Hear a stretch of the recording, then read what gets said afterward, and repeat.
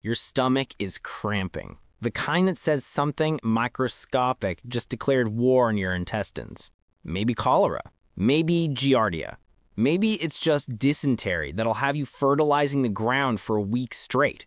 This isn't the kind you fix with Pepto and wishful thinking. The grid's been down for three weeks. The taps went dry on day five. All those expensive ceramic filters you stockpiled clog solid.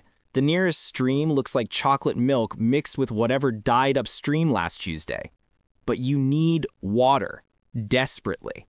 In 72 hours without it, your kidneys just shut down. There is no FEMA truck coming, no bottled water delivery. It's just you, a landscape of questionable puddles, and one single question Which one kills you slower? But here's the thing for 6,000 years, humans survived without ever knowing bacteria existed. They drank from the same rivers that hippos used as a toilet.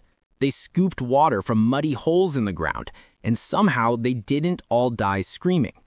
Dysentery didn't care if you were a king or a hunter. And if you can learn to read the signs that kept our ancestors alive, you just might make it through this grid down nightmare with your guts intact. No fancy lab tests, no chlorine tablets. We're going Stone Age. First things first, you have to follow the damn birds before your tongue swells shut. You need to find water that won't kill you immediately.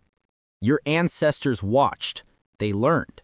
A zebra finch never ventures more than 20 kilometers from water. Pigeons? They fly straight to their source every single evening like clockwork.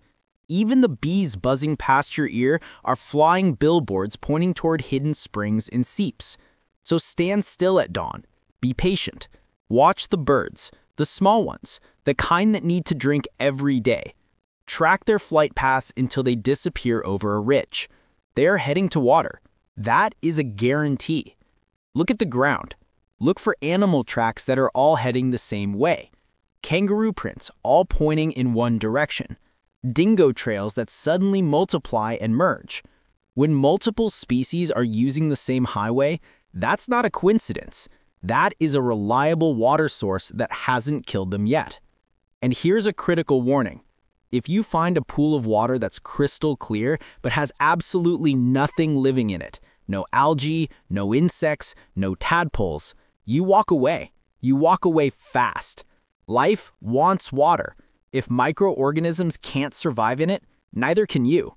It's either poisoned or it's so heavy with minerals that your kidneys will quit before your thirst does. Birds? Look for fresh tracks in the mud. Look for a patch of green vegetation punching its way through a dead landscape. Follow converging game trails. Hell, even a line of ants marching at dawn is leading you towards moisture. The rule is simple Animals have been finding safe water for millions of years longer than humans have existed. They are your built-in sensors. Use them. Okay, you found where the animals drink. Great. You are not drinking there. Not yet. Surface water is a game of Russian roulette. Groundwater is your friend. Water that has been filtered through meters of sand, gravel, and rock. The Earth has been a water filter since before your ancestors even invented fire. It is slow, it is patient, and it works. Find a dry creek bed. Look for a sandy part on an otter bend. Start digging. Dig down until the ground gets damp, then dark, and then water begins to seep in. It'll be cloudy at first. Don't panic, just let it settle. That water has percolated through natural filtration for weeks, maybe months. The deeper you can dig, the cleaner it's going to get. Aboriginal peoples in Australia would dig soakages several meters deep using nothing but sharpened sticks and wooden bowls. They knew the locations of underground water that white explorers with all their maps and compasses couldn't find.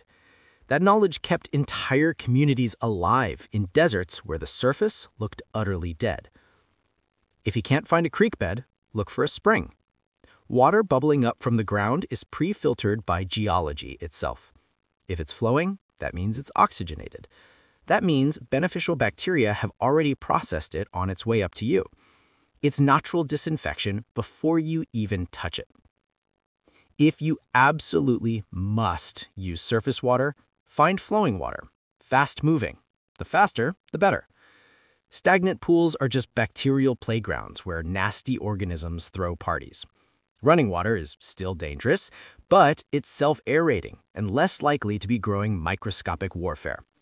And then you follow it upstream, as far as your legs can carry you. The closer you get to the source, the less chance there is that something died or defecated in it before you arrived.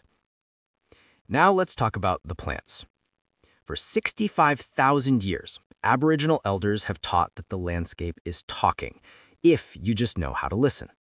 See a patch of healthy green vegetation in an otherwise brown and dead landscape? That is subsurface water. Plants do not lie. Their roots are tapping into a source of moisture that you can't see. Dig there. Some species, like the mallee eucalyptus, actually store water in their roots. You can dig them up, cut them into sections, and drinkable water will flow out. One section can yield a quart. It sounds disgusting. It tastes like tree, but it will keep you alive. Look for ground that stays damp even in a drought.